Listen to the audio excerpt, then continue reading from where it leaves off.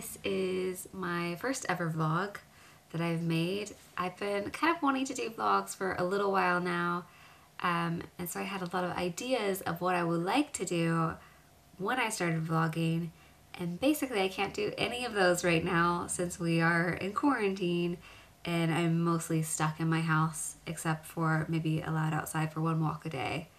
I feel like this whole video has potential to feel like a time capsule of what life is like right now. Um, so if like aliens or people in the future stumble across it, they'll be like, what is she talking about? Why is she talking about being stuck in quarantine and not being allowed outside her house? Why is she dressed like an 18th century milkmaid? They'll just have so many questions basically. But that's where we are right now. That's the life that we are living. So today for my vlog, since I am not really allowed to go many places, I thought I would just take you on a walk in the park where I live because my house is kind of located inside a park technically. So when I say I live in a park, I don't mean that I live in a hollow tree. I do live in a house, just my house is located inside a park. And that's where we're gonna go today. I wanna take my dog on a walk because he needs the exercise. So I'm hoping today that I can find some flowers um, make this video, show you some interesting things around the park, maybe hear some birds, and give Solomon enough exercise so that he doesn't chew my face off in boredom. Some really simple goals there. So with that in mind, let's go on a walk.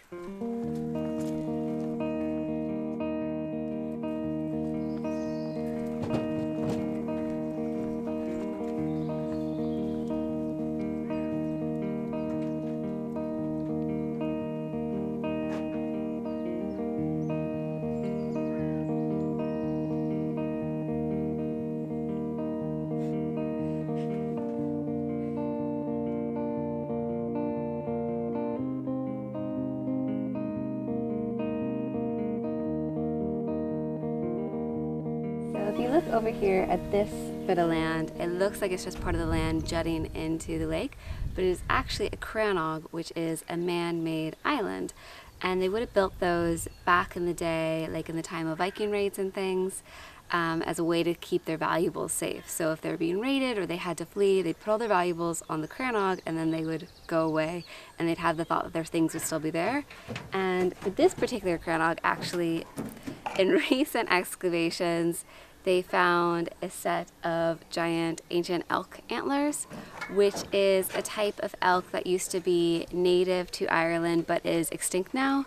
So it's really cool. You wouldn't know by looking at it that it's a crannog. You wouldn't know that there were antlers there or anything like that. But it is really cool if you do know a little bit of the history that what is there.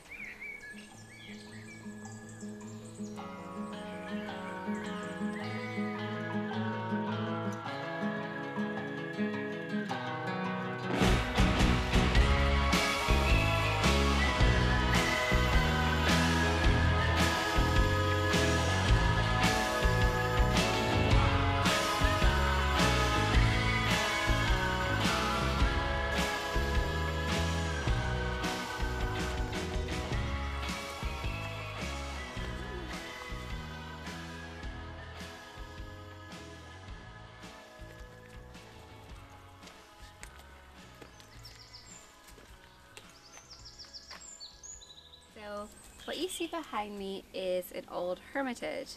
The park that I live on used to be former manor house grounds, so this hermitage was built when the lord and lady of the manor were still in residence. And it comes from a period in art history and history where people wanted their gardens to look more wild and unkempt. So they would build these hermitages and then they'd actually hire hermits to live in them. And the hermits were supposed to live as off the land as they could and be kind of wild looking and frighten women and maybe recite poetry with the men. Many different hermitages though would actually just have dummies in them to look like hermits. They wouldn't hire an actual person.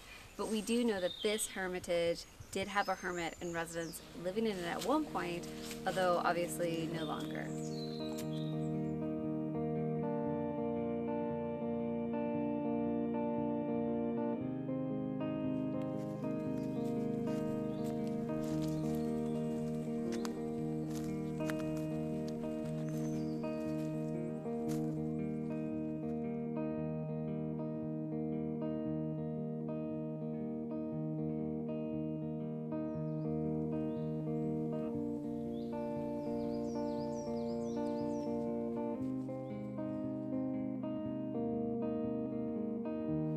All of the green that you see growing around here is actually wild garlic, which is one of the easiest plants to forage for in the woods that you can eat.